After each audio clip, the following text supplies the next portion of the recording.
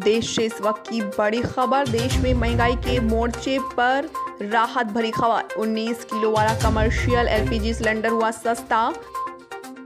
19 kilo वाला commercial LPG cylinder सौ रुपए सस्ता। घरेलू एलपीजी सिलेंडर के दाम में कोई बदलाव नहीं। ये इस वक्त की बड़ी खबर देश से आ रही है। देश में महँगाई के मोर्चे पर मिली राहत। 19 किलो वाला कमर्शियल एलपीजी सिलेंडर हुआ सस्ता। 19 किलो वाला कमर्शियल एलपीजी सिलेंडर सौ रुपये हुआ सस्ता। घरेलू एलपीजी सिलेंडर के दाम में कोई नहीं बदलाव। एक मार्च के बाद से अब तक कोई नहीं हुआ बदलाव।